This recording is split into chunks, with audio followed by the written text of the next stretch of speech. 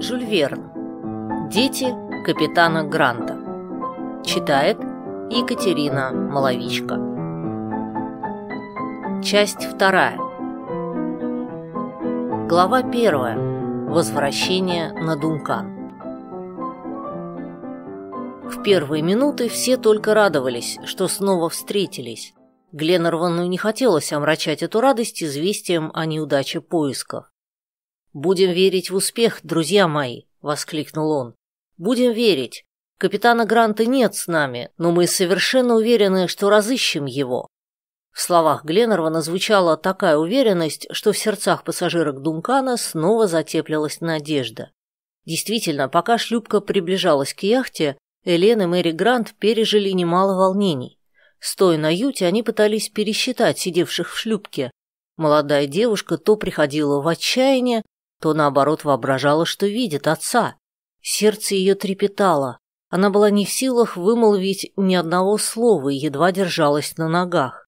Елена, обняв молодую девушку, поддерживала ее.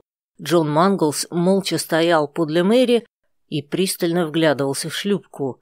Его глаза моряка, привыкшие различать отдаленные предметы, не видели капитана Гранта.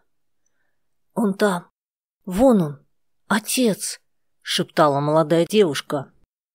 Однако по мере приближения шлюпки иллюзия рассеивалась. Когда же она была уже сожжениях в ста от яхты, то не только Элен и Джон Манглс, но и Мэри потеряла всякую надежду. Ободряющие слова Гленнервана прозвучали вовремя.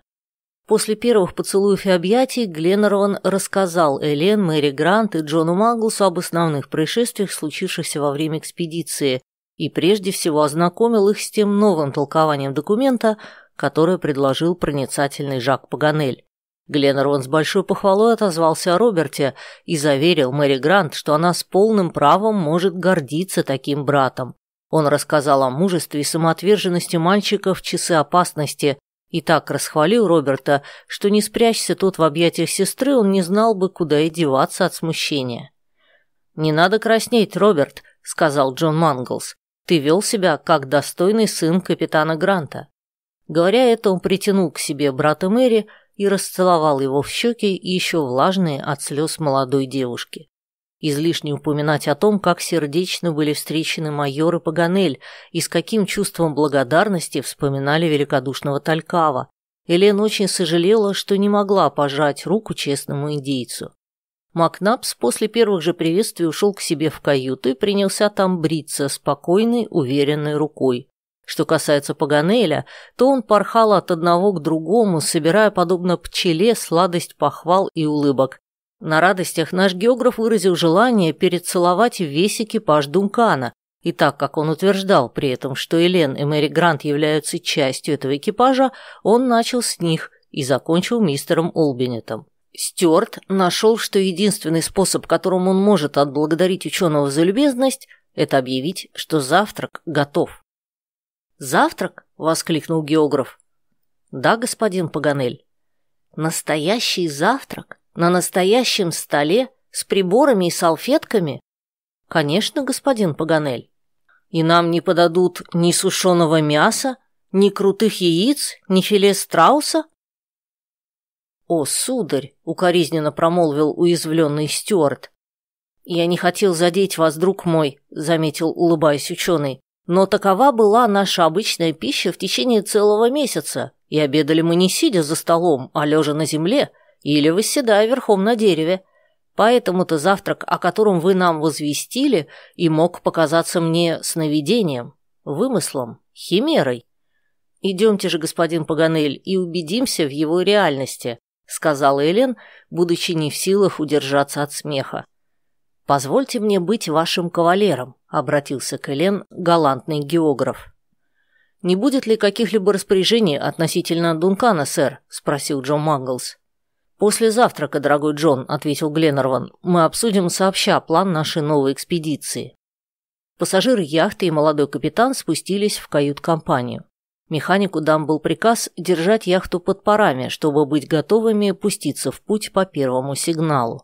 Свежевыбритый майор, а также и другие путешественники, быстро переодевшись, уселись за стол.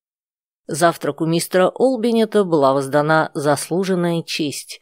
Его нашли чудесным и даже превосходящим великолепные пиршества в Пампасах.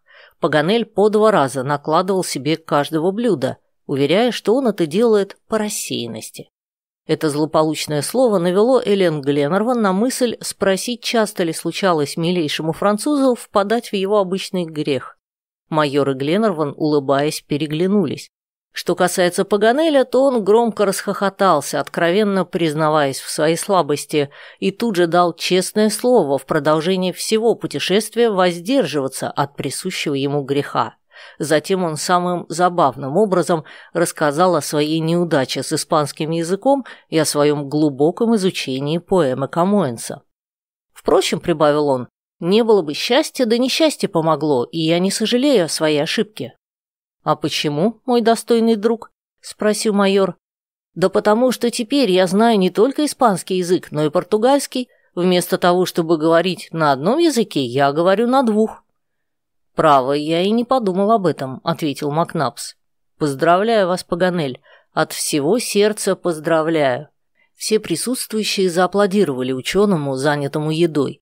Паганель умудрялся одновременно и есть, и вести разговор – но он не заметил кое-чего, не ускользнувшего, однако, от Гленнервана, а именно того особенного внимания, какое оказывал Джон Манглс своей соседке по столу, Мэри Грант. Легкий кивок головы Элен дал понять мужу, что действительно дело обстоит именно так. Гленнерван с сердечной симпатией посмотрел на молодых людей, а затем обратился к Джону Манглсу, но совсем по иному поводу – «Как совершился ваш переход, Джон?» – спросил он. «В наилучших условиях», – ответил капитан. «Только я должен довести до вашего сведения, сэр, что мы не проходили Магеллановым проливом». «Вот как?» – воскликнул Паганель. «Вы, значит, обогнули мыс Горн, а меня с вами не было?» «Повесьтесь», – сказал майор. «Эгоист», – отозвался географ. «Вы даете мне такой совет лишь для того, чтобы получить мою веревку». «Полноте, дорогой Паганель», — вмешался в их разговор Гленнерван. «Если не обладать даром быть вездесущим, нельзя же одновременно находиться повсюду. И раз вы странствовали по пампасам, вы никак не могли в то же время огибать мыс Горн». «Но это не мешает мне сожалеть о том, что меня там не было», — сказал ученый. После этого Паганелли оставили в покое, а Джон Манглс стал рассказывать о сделанном переходе. По его словам, огибая американский берег, он обследовал все западные архипелаги, но нигде не обнаружил следов Британии. У мыса Пилар при входе в Магелланов пролив Пришлось из-за противного ветра изменить маршрут и пойти на юг. Яхта прошла мимо островов Отчаяния, достигла 67 градуса южной широты, обогнула мыс Горн, прошла вдоль огненной земли, затем через пролив Лемера и взяла курс вдоль берегов Патагонии. Здесь, на высоте мыса Курьентес, ей пришлось выдержать сильнейшую бурю, ту самую, которая с такой яростью обрушилась во время грозы на наших путешественников. Выдержала яхта этот шторм хорошо и уже три дня крейсировала в открытом море, когда выстрелы карабина дали знать о прибытии ожидаемых с таким нетерпением путешественников. Капитан Дункана прибавил, что с его стороны было бы недобросовестно не упомянуть о редкой отваге, проявленной миссис Гленнерван и мисс Грант. Буря их не испугала, и если они и беспокоились, то лишь о своих друзьях, странствовавших в это время по равнинам Аргентинской республики. Этими словами Джон Манглс и закончил свой рассказ. Лорд Гленнерван поздравил его с удачно сделанным переходом, а затем обратился к Мэри Грант. «Дорогая мисс», — сказал он, — «я вижу, что капитан Джон воздает должное вашим достоинствам, и я очень рад, что вы так хорошо чувствовали себя на борту его судна». «Как же могло быть иначе?» — ответила Мэри, глядя на Элен Гленнерван, а может быть и на молодого капитана. «Ой, сестра моя очень любит вас, мистер Джон!» — воскликнул Роберт. «Я тоже вас люблю». «Я оплачу тебе тем же, дорогой мальчик», — ответил Джон Манглс. Молодой капитан был несколько смущен словами Роберта, а Мэри Грант слегка покраснела. Джон Манглс поспешил переменить тему разговора. «Раз я кончил свой рассказ о переходе Дункана, то, быть может, вы, сэр, ничего не будете иметь против того, чтобы ознакомить нас с подробностями вашего путешествия по Америке», а также с подвигами нашего юного героя. Конечно, ни одно повествование не могло доставить больше удовольствия Элен и мисс Грант, как это, и Гленнерван не замедлил удовлетворить их любопытство.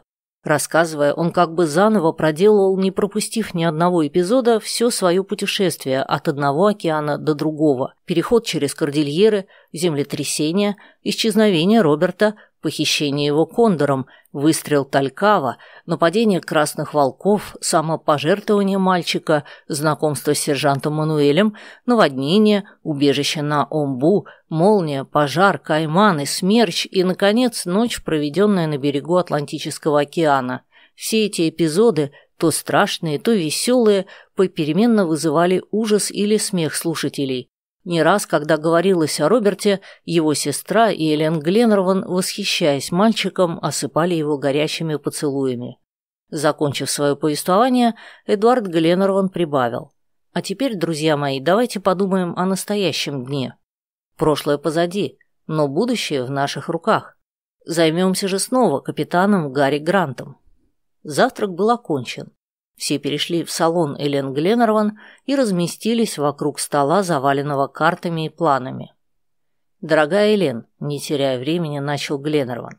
Взойдя на борт Дункана, я сказал вам, что хотя с нами и нет потерпевших крушений на Британии, но надежда найти их у нас больше, чем когда-либо раньше.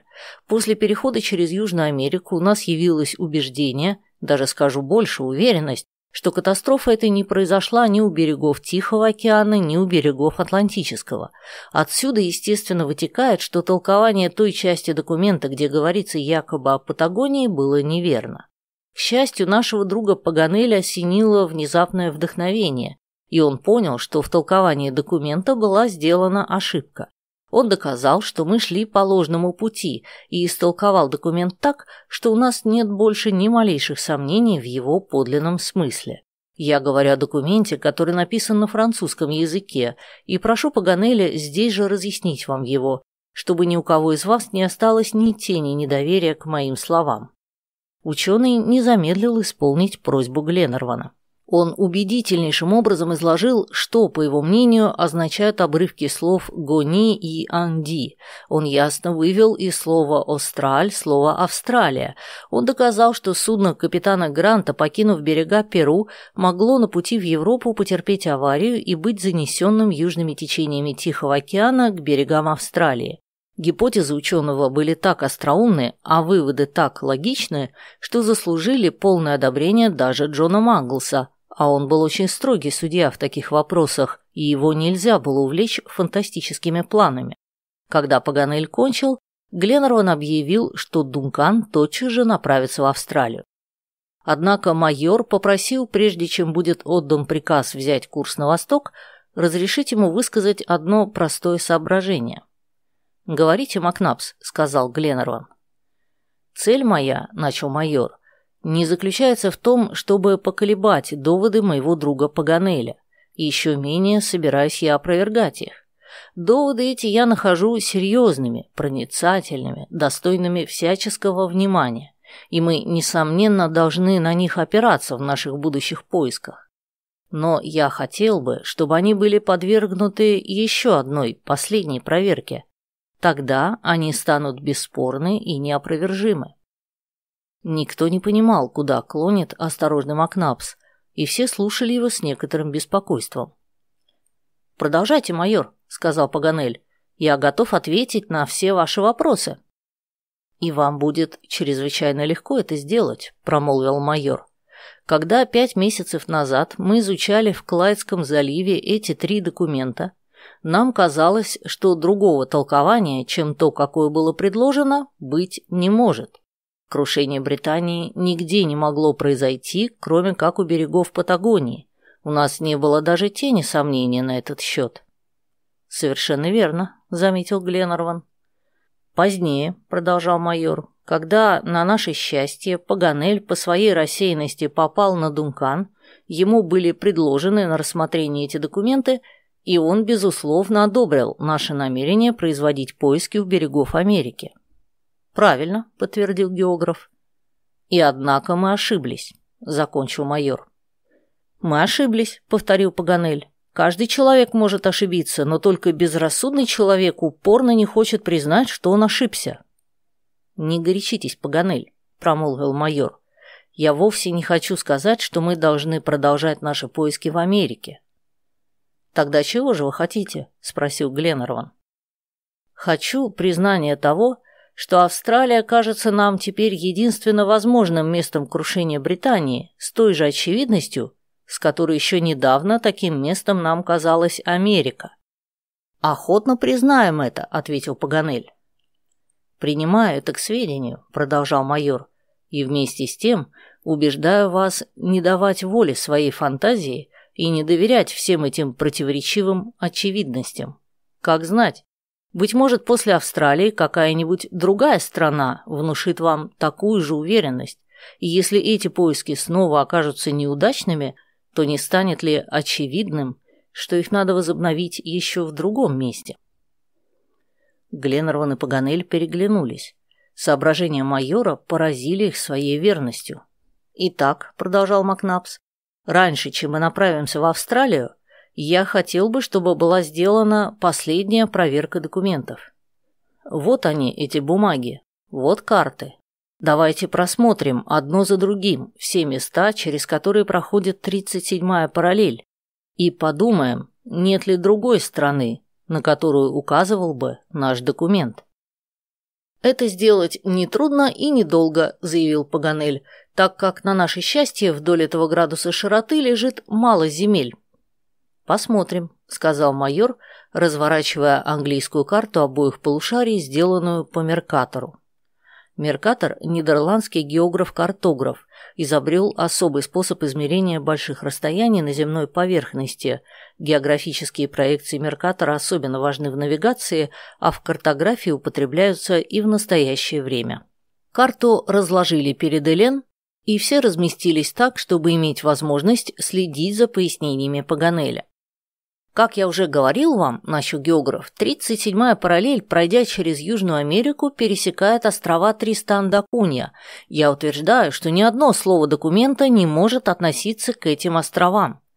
После тщательного рассмотрения документов все присутствующие должны были признать, что Паганель прав. Острова Тристан-да-Кунья были отвергнуты единогласно. «Будем же продолжать», — снова заговорил географ. Выйдя из Атлантического океана двумя градусами южнее мыса Доброй Надежды, мы попадаем в Индийский океан. Одна только группа островов встречается на нашем пути – Амстердамские острова. Обсудим вопрос о них так же, как мы это сделали по отношению к Тристан-да-Кунья. После тщательного обсуждения Амстердамские острова были тоже отвергнуты. Ни одно слово, полное или неполное, будь то французское, немецкое или английское – не могло относиться к этой группе островов Индийского океана. «Теперь мы подходим к Австралии», – продолжал Паганель. 37-я параллель вступает на этот материк у мыса Бернулли и покидает его в том месте, где находится бухта Туфольд. Надеюсь, вы согласитесь со мной, что не делая никакого насилия над текстом документов, можно отнести неполное слово «стра» из английского документа и неполное слово «остраль» из французского к Австралии. Это так очевидно, что даже не стоит на этом настаивать. Все согласились с заключением Паганеля. Его предположение казалось всесторонне обоснованным. «Пойдем дальше», — продолжал майор. «Пойдем», — откликнулся географ. «Путешествие нетрудное. Покинув бухту Туфольд, мы пересекаем море на востоке Австралии и встречаем на пути Новую Зеландию. Тут я напомню вам, что обрывок слова «контен» из французского документа неопровержимо указывает на то, что вопрос идет о континенте. Стало быть, капитан Грант не мог найти пристанище на Новой Зеландии, ибо она представляет собой не материк, а остров. Но, пожалуйста, анализируйте, сравнивайте, переворачивайте на все лады слова и обрывки слов, а затем скажите, имеет ли они хоть малейшее отношение к этой стране. «Ни в каком случае», — ответил Джон Манглс, тщательно рассмотрев документы и карту полушарий. Нет, согласились с ним остальные слушатели Паганеля и даже сам майор. О Новой Зеландии не может быть и речи.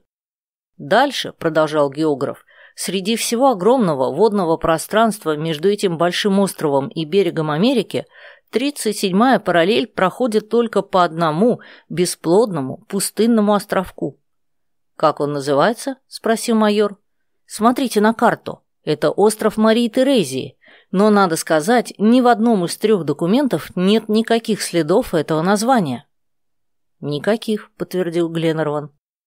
«А теперь, друзья мои», – закончил географ, – «скажите, не ясно ли, что наиболее вероятным, а вернее сказать совершенно бесспорным, является мой вывод о том, что речь здесь идет именно об Австралии?» «Несомненно», – единодушно ответили пассажиры и капитан Дункана. «Скажите, Джон», – спросил тогда Гленнерван капитана, – «в достаточном ли количестве имеется у вас съестных припасов и угля?» «Да, сэр, я с избытком всем запасся в Талькагуану. К тому же мы легко сможем еще пополнить наш запас топлива в Капштадте. В таком случае дайте приказ к отплытию». «Еще одно соображение», – перебил Гленнервана майор. «Говорите, Макнапс, как немного у нас шансов на успех в Австралии, а не следовало ли бы нам все же на день-два сделать остановку у островов Тристан-да-Кунья и Амстердамских? Нам ведь это по пути, и тогда уж мы окончательно убедимся в том, что у этих островов не осталось следов крушения Британии. «Ну и недоверчив же этот майор!» — воскликнул Паганель. «Он стоит на своем!» «Я стою главным образом за то, чтобы нам не пришлось возвращаться назад, в том случае, если Австралия не оправдает наших надежд. Эти меры предосторожности кажутся мне разумными, заметил Гленнерван. И уж, конечно, не я стану вас отговаривать от них, добавил Паганель. Напротив. Тогда, Джон, отдайте приказ идти к островам Тристан-да-Кунья, распорядился Гленнерван. Немедленно, сэр, ответил капитан и отправился на свой мостик, в то время как Роберт и Мэри Грант горячо благодарили Гленнервана. Вскоре Дункан, держа курс на восток, уже рассекал своим форштевнем волны Атлантического океана, удаляясь от американских берегов. Глава вторая. Тристан да Кунья. Если бы яхта шла вдоль экватора, те 196 градусов, которые отделяют Австралию от Америки, или вернее сказать, мыс Бернули от мыса Курьентес, представляли бы собой путь в 11 760 географических миль, но 37-я параллель вследствие формы земного шара короче экватора, и следуя по ней, яхте предстояло пройти всего лишь 9480 миль. От американского берега до островов Тристан-да-Куни считается 2100 миль.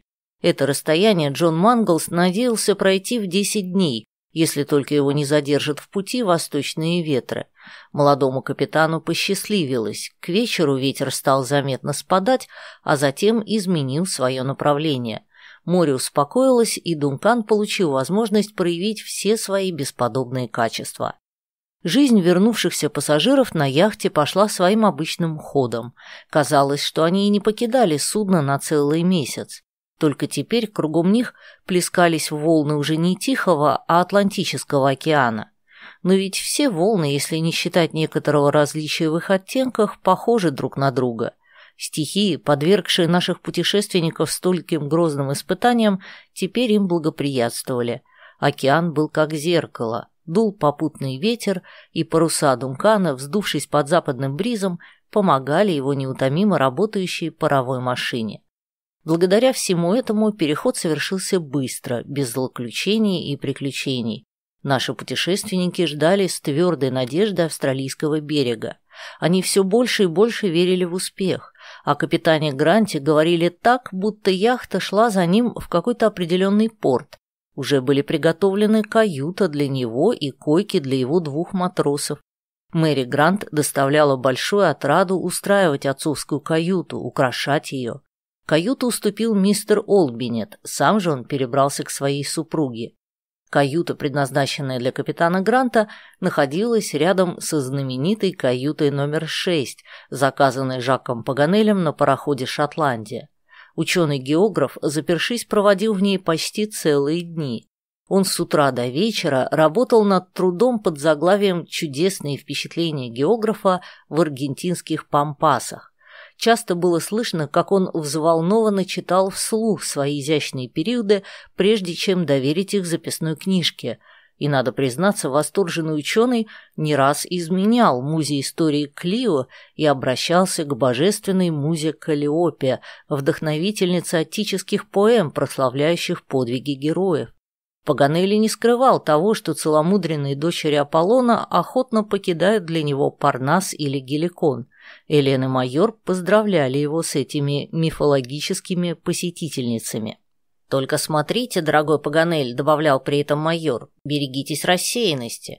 И если вам придет фантазия учиться языку австралийцев, то не вздумайте прибегнуть к помощи китайской грамматики».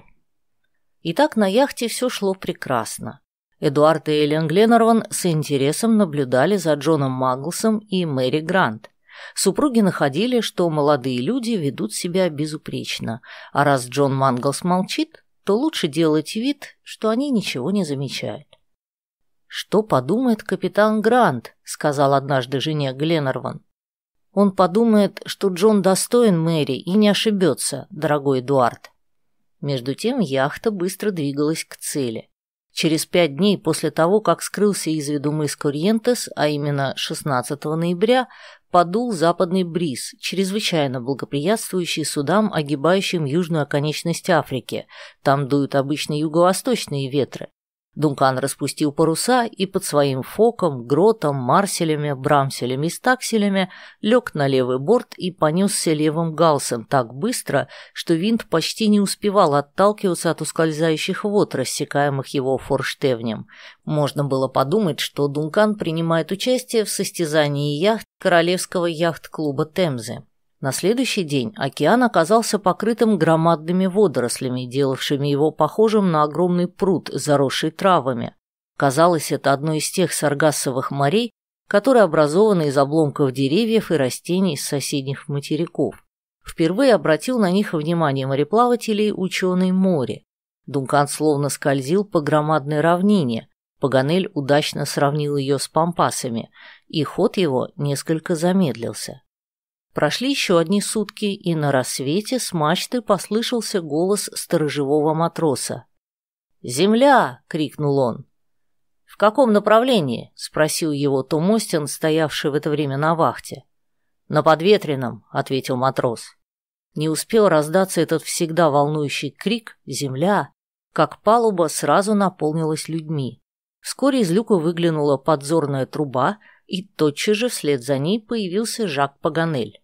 Ученый не замедлил направить свой инструмент в указанном направлении, но не увидел там ничего похожего на Землю. «Взгляните на облака», — посоветовал ему Джон Манглс. «Верно», — сказал Паганель. «Там, правда, еще очень неясно, но все же виднеется что-то вроде остроконечной горной вершины». «Это Тристан да Кунья», — объявил Джон Манглс. «В таком случае, если только память мне не изменяет, — продолжал ученый, — мы должны быть от него в 80 милях, ибо эта вершина, поднимающаяся на 7 тысяч футов над уровнем моря, видна именно с такого расстояния. «Совершенно верно», — отозвался капитан Джон. Прошло несколько часов, и на горизонте вполне отчетливо вырисовалась группа чрезвычайно высоких островов с крутыми берегами. Коническая вершина Тристана выделялась темным силуэтом на сияющем фоне неба, разноцветно озаренного лучами восходящего солнца. Вскоре из скалистой массы архипелага выступил главный его остров, расположенный как бы у вершины направленного на северо-восток треугольника. Тристан да Кунья находится по 37 градусам 8 минутами южной широты и 10 градусами 44 минутами западной долготы от Гринвичского меридиана. Этот маленький одинокий архипелаг Атлантического океана пополняется в 18 милях к юго-западу островом Неприступный, а в 10 милях к юго-востоку островом Соловей. Около полудня яхта прошла мимо двух главных приметных мест, которые помогают морякам ориентироваться, а именно мимо угловой скалы острова Неприступный, очень похожей на лодку с поднятым парусом, и мимо двух островков у северной части острова Соловей, напоминающих развалины небольшой крепости. В три часа Дункан вошел в бухту Тристан-да-Кунья, Фалмут, защищенную от западных ветров остроконечной горой Гельм. Здесь дремало на якоре несколько китоловных судов, занятых ловлей тюленей и других морских животных, которыми изобилуют эти берега. Джон Манглс занялся приисканием надежного места для стоянки Дункана, зная, что этот не вполне защищенный рейд представляет для судов большую опасность при северном и северо-западном ветре. Именно в этой бухте затонул в 1829 году английский бриг «Джулия» с командой и грузом. Дункан бросил якорь в полумиле от берега на каменистое дно глубиной в 20 сажений. Для пассажиров яхты тотчас была спущена большая шлюпка, они высадились на берег, покрытый тонким черным песком, мельчайшими остатками пережженных, выветрившихся известковых скал. Столицей всего архипелага Тристан-да-Кунья является небольшой поселок, расположенный в глубине бухты у широкого шумного ручья. В нем до полусотни довольно опрятных домиков, расположенных с той геометрической правильностью, которая, по-видимому, является последним словом английской архитектуры. За этим миниатюрным городком расстилается равнина в полторы тысячи гектаров, заканчивающаяся огромными насыпями застывшей лавы, а над этой плоской возвышенностью поднимается конический пик в семь тысяч футов. Гленнерван был принят губернатором английской колонии и тотчас же осведомился у него относительно Гарри Гранта и Британии, но эти имена оказались совершенно неизвестными ему. Острова Тристан-да-Куни находятся в стороне от обычного морского пути, и к берегам их редко подходят суда. После известного крушения английского судна Бленден Гол, разбившегося в 1821 году о скалы острова Неприступный, еще два судна потерпели крушение у берега главного острова Примоге в 1845 году и трехмачтовый американский корабль «Филадельфия» в 1857 году.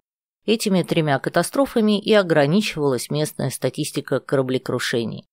В сущности, Гленнерван и не рассчитывал получить здесь какие-нибудь сведения, а расспрашивал губернатора для очистки совести.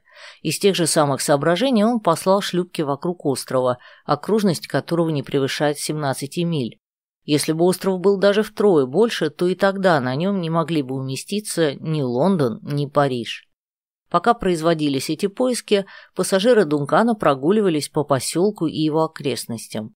Количество его жителей не достигало и 150 человек. Все это были англичане и американцы, женатые на негритянках и капских готентотках.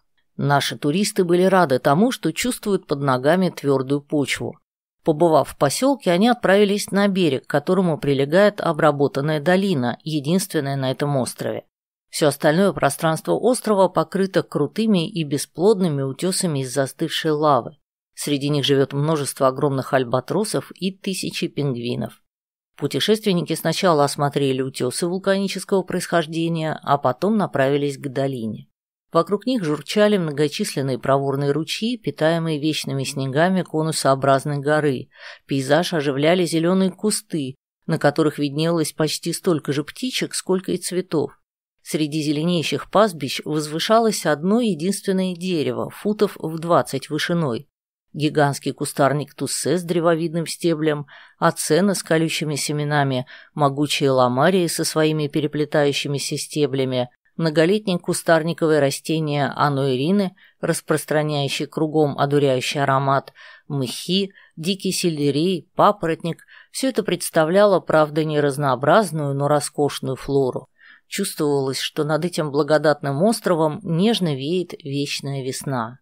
В окрестностях поселка паслись стада быков и овец. Цветущие поля, засеянные хлебами, маисом, овощами, ввезенными сюда лет сорок назад, примыкали вплотную к улицам столицы. Как раз в то время, когда Гленнерван вернулся на борт, подошли к Дункану шлюпки. Они успели в несколько часов объехать кругом весь остров но ни на какой след Британии на своем пути не наткнулись. Таким образом, приходилось окончательно вычеркнуть острова Тристан-да-Кунья из перечня тех мест, где можно было надеяться найти капитана Гранта. Теперь Дункан мог свободно покинуть эти африканские острова и продолжать свой путь на восток. Если он не отплыл в тот же вечер, то только потому, что Гленнерван разрешил своей команде поохотиться на тюленей. Тюлени кишели в бухте Фалмут, когда-то в этих водах прекрасно себя чувствовали и настоящие киты, но на них столько охотились, что они почти перевелись. Земноводные же встречаются здесь целыми стадами. Команда яхты решила всю ночь за ними охотиться, а на следующий день заготовить из них запасы жира. Поэтому отплытие Дункана было отложено на послезавтрашний день, 20 ноября. За ужином Паганель сообщил своим спутникам несколько интересных сведений об островах Тристан-да-Кунья. Они узнали, что этот архипелаг, открытый в 1506 году португальцем Тристаном да Кунья, одним из спутников Альбукерка, в течение более ста лет не был исследован. Здешние острова считались, и не без оснований, приютом бурь и пользовались не лучшей репутацией, чем Бермудские острова, поэтому к ним подходили только суда, заброшенные к их берегам бурями Атлантического океана. В 1697 году, когда три голландских судна индийской компании пристали к островам Тристан-да-Кунья, были определены координаты этих островов, а в 1700 году астроном Галлей внес в эти вычисления свои поправки.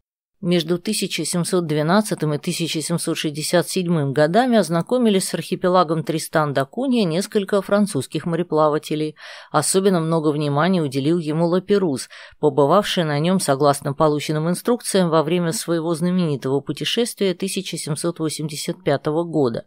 Эти так редко посещаемые острова были необитаемы вплоть до 1811 года, когда одному американцу Джонатану Ламберту пришла мысль их колонизировать эксплуатировать. В январе этого года он высадился здесь с двумя товарищами, и они принялись за работу. Английский губернатор мыса Доброй Надежды, узнав, что новые колонисты преуспевают, предложил им протекторат Англии. Джонатан принял это предложение и водрузил над своей хижиной британский флаг. Казалось бы, что Джонатану суждено было мирно и безмятежно царствовать над своими народами, стариком-итальянцем и португальским мулатом. Но однажды, исследуя берега своей империи, он утонул или был утоплен, это осталось тайной. Настал 1816 год. Наполеон был заключен на острове Святой Елены, и Англия, дабы бдительнее охранять его, держала один гарнизон на Тристан-да-Кунья, а другой на острове Вознесения. Гарнизон состоял из артиллерийской батареи, переведенной с мыса Доброй Надежды, и из отряда готентотов. Он оставался здесь до самой смерти Наполеона, до 1821 года, Затем был возвращен обратно на мыс Доброй Надежды. «Один только европеец», — добавил Паганель, — «капрал, шотландец». «А, шотландец», — перебил его майор, которого всегда интересовали соотечественники. «Звали его Вильям Глаз», — продолжал географ. Он остался на острове с женой и двумя готентотами. Вскоре к шотландцу присоединились два англичанина. Один матрос, а другой рыбак с берегов Темзы, служивший до этого драгуном в аргентинской армии. Наконец, в 1821 году один из потерпевших крушение на Бленденголе вместе со своей молодой женой также нашел себе приют на острове Тристан. Таким образом, на этом острове в 1821 году имелось шесть мужчин и две женщины. В 1829 году число обитателей возросло. Мужчин стало 7, женщин 6, а детей 14. В 1835 году число это поднялось до 40, а в настоящее время оно утроилось. «Скажу еще, чтобы дополнить историю Тристан да Кунья», — продолжал Паганель. «Эти острова, по-моему, не менее острова Хуан Фернандес, имеют право считаться островами Робинзонов. В самом деле, если на острове Хуан Фернандес были в разное время брошены на произвол судьбы два моряка, то такой же участи едва не подверглись на острован Тристан да Кунья два ученых. В 1793 году один из моих соотечественников, естествоиспытатель Обер Дюптитуар, до того увлекся здесь собиранием растений, что заблудился и смог добраться до своего корабля лишь в тот момент, когда капитан уже отдал приказ поднять якорь. А в 1824 году один из ваших соотечественников, дорогой Гленнерван, искусный рисовальщик по имени Огюст Эрл, был оставлен на этом же самом острове и провел на нем целых восемь месяцев. Капитан судна забыл о том, что Эрл находится на берегу, и, подняв паруса, отплыл к мысу Доброй Надежды. «Вот этого капитана поистине можно назвать рассеянным», — отозвался майор. «Это, верно, был один из ваших родичей, Паганель». «Если он и не был моим родичем, то во всяком случае достоин этой чести», — заявил географ. И этим его ответом разговор об островах Тристан-да-Кунья был закончен. Ночная охота команды Дункана оказалась удачной, убито было 50 крупных тюленей. Разрешив охоту, Гленнерван не мог запретить матросам извлечь из нее пользу, поэтому следующий день был посвящен вытапливанию тюленевого жира, а также обработке кож этих ценных земноводных. Само собой разумеется, что и второй день стоянки в порту пассажиры Дункана использовали для того, чтобы совершить новую прогулку вглубь острова. Гленнерван и майор захватили с собой ружья, они собирались поохотиться за местной дичью. Гуляя, туристы дошли до самой подошвы горы. Почва здесь была усеяна кусками лавовых шлаков, пористых и черных, и всякими другими обломками вулканического происхождения. Основание горы поднималось из хаоса шатких скал. Трудно было ошибиться в вопросе о происхождении этого огромного конусообразного пика, и английский капитан Кармайкл имел полное основание видеть в нем потухший вулкан. Охотники набрели на нескольких кабанов. Пуля майора уложила на месте одного из них. Гленнерон же довольствовался тем, что подстрелил несколько черных куропаток, из которых должно было выйти превосходное рагу. На высоких горных площадках мелькало множество коз. Было на острове множество диких кошек. Эти сильные, отважные животные, страшные даже для собак, должны были, по всей видимости, когда-нибудь развиться в настоящих хищных животных. В восемь часов вечера все вернулись на яхту, а ночью Дункан навсегда покинул Тристан да Кунья. Глава третья. Остров Амстердам. Джон Манглс собирался запастись углем на мысе Доброй Надежды, поэтому ему пришлось немного уклониться от 37-й параллели и подняться на 2 градуса к северу. Здесь еще не начиналась зона пассатов, а дули сильные западные ветры, очень благоприятствовавшие ходу Дункана. Менее чем в шесть дней он прошел 1300 миль, то есть расстояние от Тристан-да-Кунья до южной оконечности Африки. 24 ноября в три часа дня показалась столовая гора, а немного погодя Джон заметил и гору сигналов, поднимающуюся у входа в залив. Дункан вошел туда около восьми часов вечера и стал на якорь в Капштадтском порту. Паганель, будучи членом географического общества, не мог не знать, что южную оконечность Африки впервые увидел мельком португальский адмирал Бартоломей Диец в 1486 году, а обогнул ее только в 1497 году Васко да Гама. По этому поводу ученый сделал одно любопытное замечание.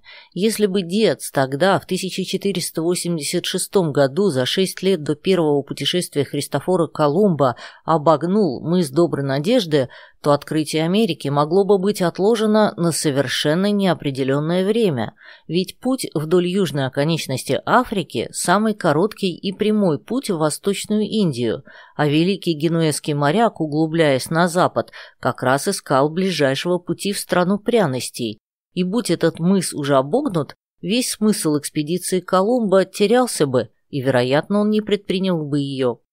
Кейптаун или Капштадт, основанный в 1652 году голландцем Ван Рибеком, расположен в глубине Капского залива.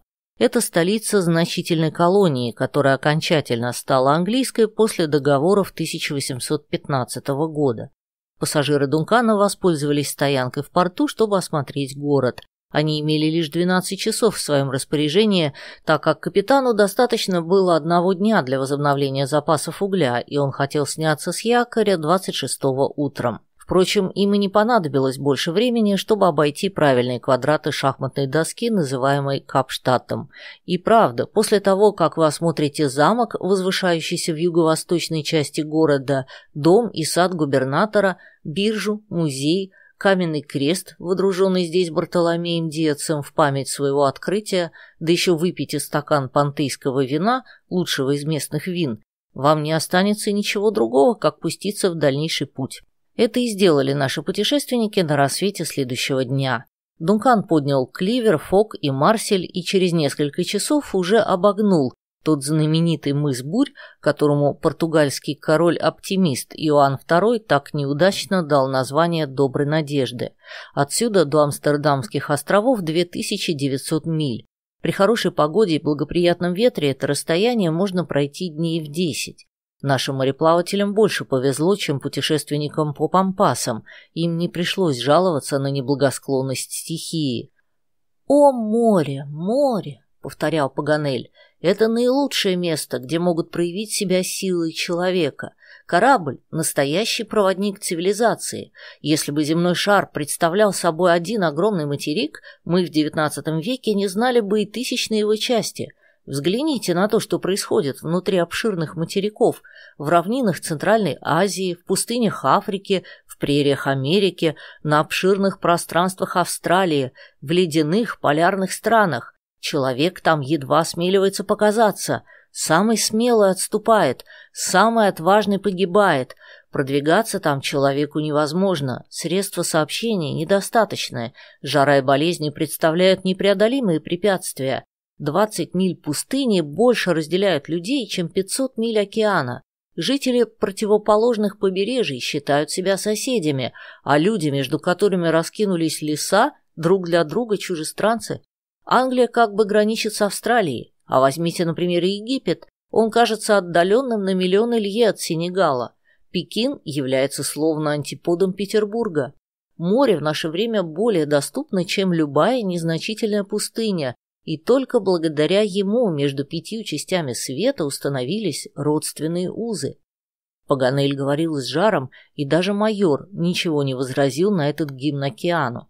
И в самом деле, если бы для поиска в Гарри Гранта нужно было следовать вдоль 37-й параллели все время по материку, то это предприятие оказалось бы неосуществимым. А тут к услугам наших отважных путешественников было море, переносившее их из одной страны в другую. 6 декабря на рассвете над морскими волнами показалась какая-то гора.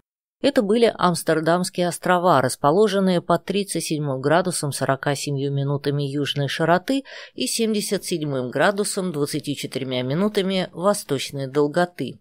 Конусообразная вершина была видна в ясную погоду за 50 миль. В 8 часов утра очертания этой горы, еще неясные, стали напоминать общий облик Тенерифа. «Значит, она похожа и на гору Тристан-да-Куня», — заметил Гленнерван. «Основательный вывод», — отозвался Паганель. «Он вытекает из геометрографической аксиомы, говорящей о том, что два острова, похожие на третий, похожи и друг на друга. Добавлю, что Амстердамские острова, так же, как и острова Тристан-да-Кунья, были богаты тюленями и робинзонами». «Значит, робинзоны имеются всюду?» — спросила Элен. «Честное слово, миссис, я немного знаю островов, где не бывало бы подобных приключений», — отозвался ученый.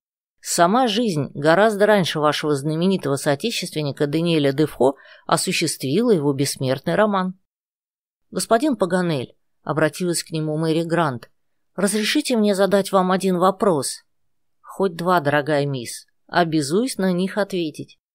«Скажите, очень испугались бы вы, если бы вдруг были покинуты на пустынном острове. «Я?» — воскликнул Паганель. «Не вздумайте, друг мой, признаться в том, что это ваше заветное желание», — сказал майор. «Я не хочу утверждать этого», — ответил географ. «Но, пожалуй, подобное приключение пришлось бы мне по вкусу. Я создал бы свою жизнь заново, стал бы охотиться, ловить рыбу, жил бы зимой в пещере, а летом на дереве устроил бы склад для собранного мною урожая. Словом, я занялся бы колонизацией моего острова. Один? Один, если бы так сложились обстоятельства. А к тому же, разве на Земле может быть полное одиночество? Как будто нельзя выбрать себе друга среди животных, приручить какого-нибудь козленка, красноречивого попугая, милую обезьянку. А если случай пошлет вам такого товарища, как верный Пятница, то чего же еще вам нужно? Два друга на одном утесе? Вот вам и счастье. Представьте, например, майора и меня. «Благодарю вас», — сказал Макнапс. «У меня нет ни малейшего желания разыгрывать роль Робинзона. Да и сыграл бы я эту роль очень плохо». «Дорогой Паганель», — вмешалась Элен, — «ваше пылкое воображение опять уносит вас в мир фантазий, но мне кажется, что действительность очень отличается от мечтаний. Перед вами рисуются лишь те вымышленные Робинзоны, которых судьба забрасывает на заботливо приспособленные для них острова, где природа балует их, словно любимых детей.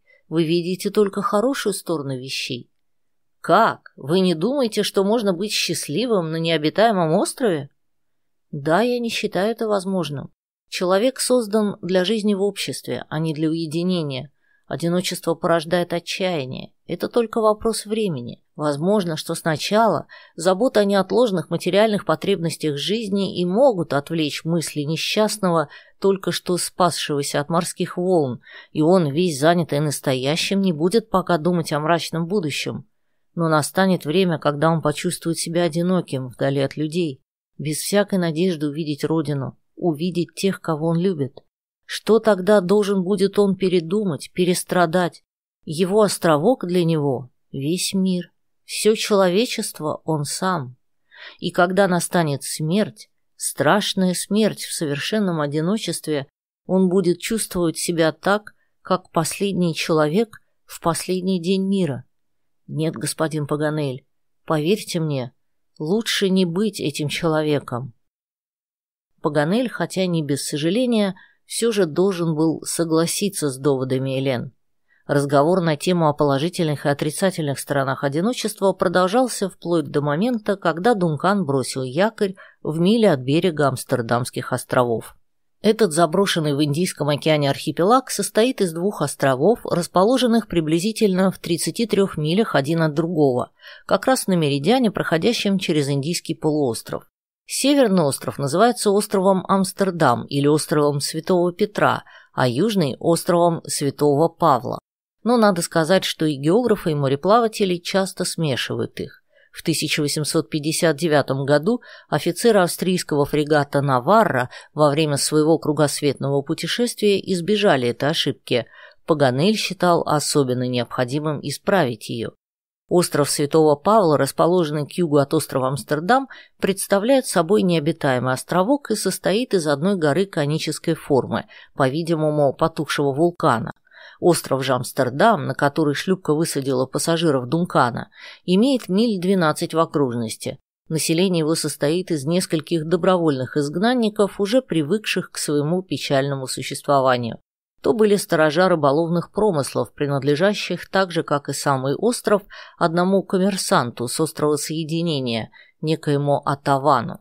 Этот властитель, пока еще не признанный великими европейскими державами, получает со своего владения до 80 тысяч франков в год от ловли, засолки и вывоза рыбы чейла дактилис, называемой на менее научном языке треской. Этому острову Амстердам было суждено стать и остаться французским владением. Сначала он принадлежал по праву первого поселившегося на нем Камену, судовладельцу из Сен-Денина Бурбоне. Потом, по какому-то международному соглашению, остров Амстердам был уступлен одному поляку, который занялся его обработкой при помощи мадагаскарских рабов.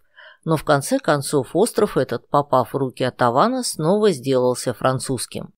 Когда 6 декабря 1864 года Дункан бросил якорь у острова, население его состояло из трех человек – одного француза и двух мулатов.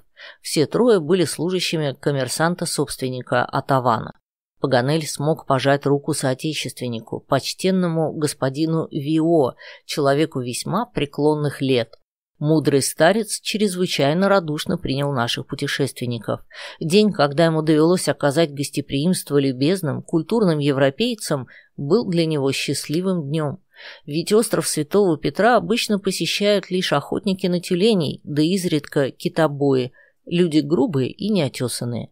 Вио представил гостям своих подданных, двух мулатов. Трое этих людей да несколько диких кабанов и множество простодушных пингвинов были единственными обитателями острова.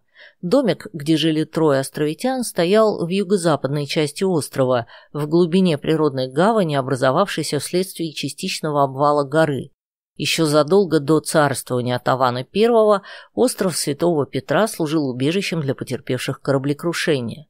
Паганель очень заинтересовал своих слушателей заглавием своего первого рассказа на эту тему «История двух шотландцев, покинутых на острове Амстердам». Дело было в 1827 году. Английский корабль «Пальмира», проходя в виду этого острова, заметил поднимающийся кверху дымок. Капитан стал приближаться к берегу и вскоре увидел двух людей, подававших сигналы бедствия. Он отправил за этими людьми шлюпку, которая и доставила на корабль Жака Пена, 22-летнего юношу, и Роберта Прудфута, мужчину 48 лет. Эти двое несчастных были в ужасном виде. Они прожили на острове 18 месяцев в страшной нужде, лишениях и муках. У них почти не было ни пищи, ни пресной воды. Питались они ракушками, время от времени какой-нибудь рыбой, пойманной на согнутый гвоздь, или мясом пойманного кабаненка. Им случалось бывать по трое суток без пищи. Подобно висталкам, они неусыпно охраняли костер, разведенный при помощи последнего куска трута. Уходя куда-нибудь, они всегда уносили с собой, как какую-нибудь драгоценность, горящий уголек. Пен и Прутфуд были высажены на остров шхуны, охотившиеся за тюленями. Оставили их здесь по обычаю рыбаков для того, чтобы они в течение месяца топили жир тюленей и выделывали их кожи. Шхуна за ними не вернулась. Пять месяцев спустя к острову подошло английское судно «Надежда», направлявшееся в Ван Димен. Капитан его по какому-то необъяснимому жестокому капризу отказался взять шотландцев на свое судно. Он отплыл, не оставив им ни куска сухаря, ни огнива. Несомненно, эти двое несчастных погибли бы, если бы Пальмира, проходившая в виду острова, не подобрала их. Второе приключение, занесенное в историю острова Амстердам, если вообще у подобного утеса может быть история, это приключение капитана Перона, на этот раз уже француза. Началось оно и закончилось так же, как у тех двух шотландцев. Сначала добровольное пребывание на острове, затем ожидаемое судно не появляется, а через 40 месяцев к берегам острова случайно по воле ветров заносится иностранное судно.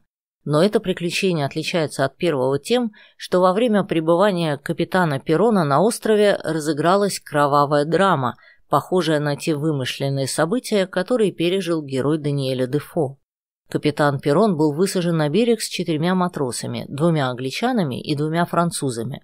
Он собирался охотиться в течение 15 месяцев на сивычей или морских львов. Охота была очень удачной, но когда по истечении 15 месяцев судно, которое должно было прийти за охотниками, не появилось, а съестные припасы мало-помалу стали истощаться, резко обострилась национальная рознь. Двое англичан взбунтовались против капитана Перона, и он погиб бы, если бы не помощь его соотечественников. С этого времени существование этих двух враждующих партий стало мучительно жутким, полным не только лишений, но и тревоги. Они не переставали ни днем, ни ночью следить друг за другом, не расставались с оружием, нападали друг на друга, являясь то победителями, то побежденными. Конечно, в конце концов, одна из враждующих партий покончила бы с другой, но, к счастью, какое-то английское судно наконец подобрало и доставило на родину этих несчастных людей, которых разделила на скале Индийского океана жалкая национальная рознь. Таковы были эти приключения. Два раза остров Амстердам стал как бы отечеством заброшенных на него моряков, которых счастливый случай дважды спас от мук голода и от смерти. Но с тех пор ни одно судно не потерпело крушения у его берегов. Волны вынесли бы, конечно, на берег обломки такого судна, а бывшие на нем люди добрались бы на шлюпках до рыболовных промыслов господина Вио.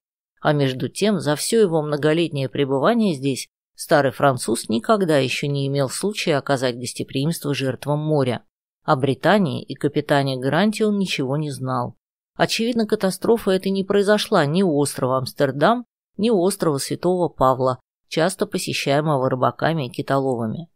Слова господина Вио не удивили и не огорчили Гленнервана. Ведь он и его спутники стремились во время этих стоянок не найти место пребывания капитана Гранта, а напротив убедиться в том, что его там не было. Они хотели установить тот факт, что на этих точках 37-й параллели Гарри Грант отсутствует, и только. Отплытие Дункана было поэтому назначено на следующий же день. Оставшееся до вечера время наши путешественники посвятили осмотру острова. Он оказался привлекательным, но бедным флорой и фауной. Описание его не смогли бы заполнить и страницу записной книжки даже самого многословного естествоиспытателя. Млекопитающие птицы были здесь представлены лишь несколькими дикими кабанами, тюленями, белыми как снег чайками, альбатросами и пингвинами. Там и сям из-под темной застывшей лавы били горячие ключи и железистые источники, клубясь густыми парами над вулканической почвой. Температура воды некоторых источников была очень высокой. Джон Магглс погрузил в один из них термометр Фаренгейта, и тот показал 176 градусов, по Цельсию 80 градусов. Когда бросил в эту почти кипящую воду рыбу, пойманную в море в нескольких шагах от того места, она через пять минут была уже сварена.